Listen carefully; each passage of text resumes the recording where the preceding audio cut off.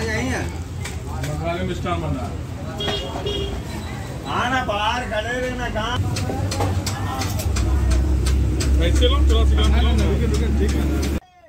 मुंगेर ज़िले के तारापुर ब्लॉक मुख्य गेट के निकट गणेश स्वीट्स जो बंगाली दादा मिष्ठान भंडार के नाम से फ़ेमस है यहाँ के सेव और बुंदिया का स्वाद काफ़ी अलग है। यहाँ पर आने जाने वाले राहगीर लोग रुककर इस सेव बुंदिया की स्वाद लेते हैं।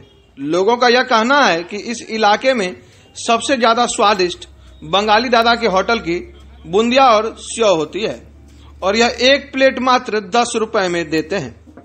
उन्होंने कहा कि इनके यहाँ की सामान की शुद्धता भी अच्छी रहती है। खाने के बाद किसी प्रकार का नुकसान नहीं होता।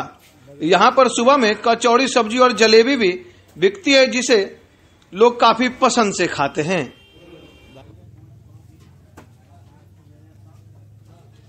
क्या खास है जो कि आप आए थे खाने? भैया यहाँ का चीज़ है।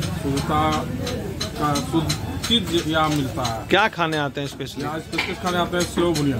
सेव बुनिया। दिन में कचौड़ी और सब्ज़ी। क्या नाम है इस दुकान का? इस दुकान का नाम तो इसे गणेश स्वीट्स है लेकिन इसे लोग बंगाली दादा के नाम से जानते हैं। तो काफ़ी स्वादिष्ट होता है। कितने रुपया में मिलता है एक प्लेट? दस रुपया दस रुपया। में दस क्या नाम है आपका? नीरज कुमार।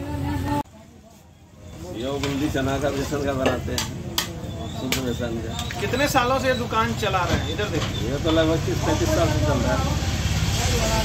पूरे दिन कितने बेच लेते होंगे आप? लगभग बीस के जी बुनिया।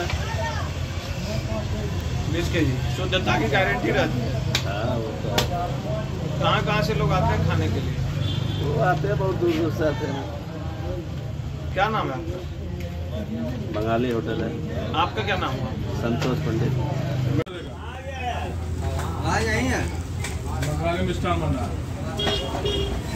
आना बाहर खड़े रहना कहाँ।